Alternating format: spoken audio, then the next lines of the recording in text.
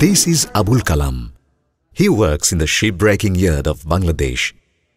He is undergoing treatment at a medical center in Sitakunda, about 220 kilometers away from Bangladesh's capital, Dhaka. According to the medical test, he has been sick for a long time caused by his work of breaking ships in an unsafe environment. His lungs have been partly damaged. Particularly, he is a victim of a harmful mineral named asbestos.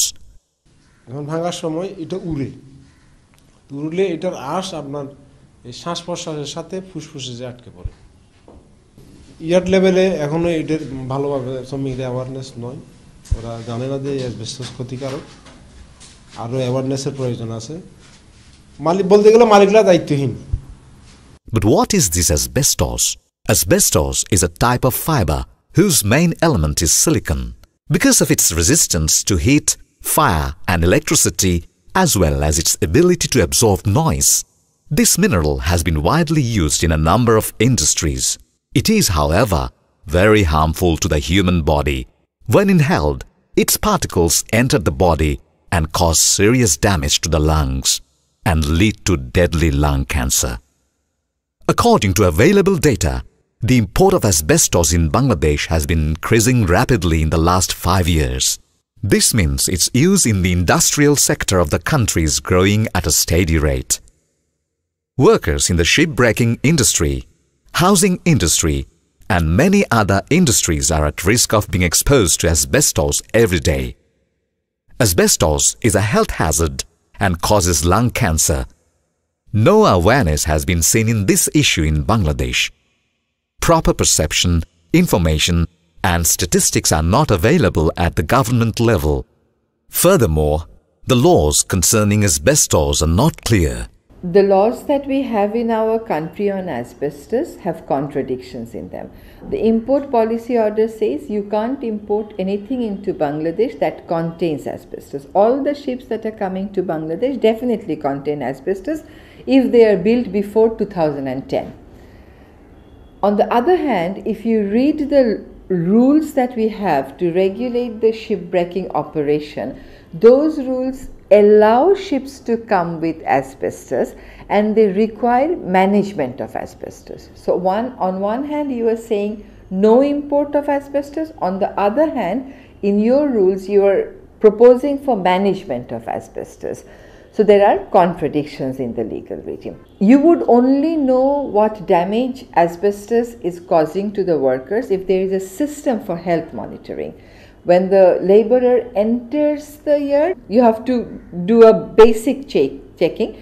When the laborer comes out and few months or years after that you have to do the monitoring. Here in Bangladesh, the labor inspectors do not enter the shipbreaking yards unless and until there is a major accident. The shipbreakers here do not maintain the records of the laborers. So, expecting that they would be doing the health monitoring of the worker, workers is um, something beyond imagination. And similarly, the labor department is also reluctant to do this sort of health monitoring and the rules that are there to regulate shipbreaking and to um, to go for proper management of asbestos are not being complied with because the ships are being broken here on beaches and the beaching system cannot give you the facilities in which you can actually handle the asbestos properly. The concerned ministries of Bangladesh government have absolutely no information on the extent to which the workers are suffering from the harmful effects of asbestos exposure in shipbreaking, construction, and overall industrial sectors. When we start the uh, awareness building uh, education for the workers in shipbreaking on that time, workers had a very zero understanding what uh, the asbestos is and what how it exposed uh, in body and what are the consequences. Through the education and training process, now workers in the ground in the shipbreaking they are aware uh, now what is asbestos and they also can tell uh, uh, its negative effect in in in personal health and also in the family and community level so as in bangladesh uh, the public health service is very poor and uh, workers many time have to take care the personal health expenditure so when they get exposed Uh, so everything goes in their own shoulder, and employers have nothing. Though, though, employers have the accountability to make the treatment and co compensate, but uh, that is not the reality here happened. We are hoping that in future we'll have a ban, complete ban in this country, and we are on that dimension and building a pressure to the government. And uh, the key uh, uh, driving force here is the workers' power and building the voice of the workers. That need to be continued. Currently, 66 countries in the world have banned asbestos. In many other countries, where it is still allowed, NGOs and trade unions are campaigning for a ban. However, it is still a long way to go.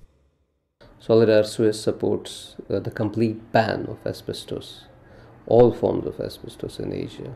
That's why we are uh, collaborating strongly with Asian Ban Asbestos Network uh, to ensure that this substance is completely banned in Asia.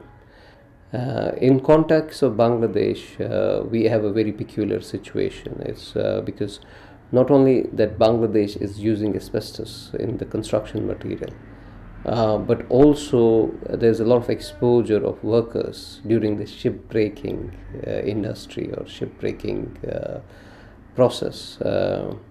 Uh, these workers are very poor, very marginalized workers, and some of them do not have proper education.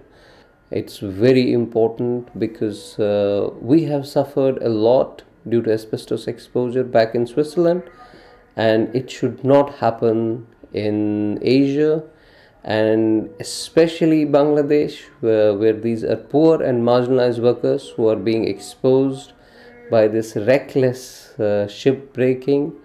Uh, we should continue to support them and we should empower them so that they can bargain for themselves and they will have decent living and working conditions.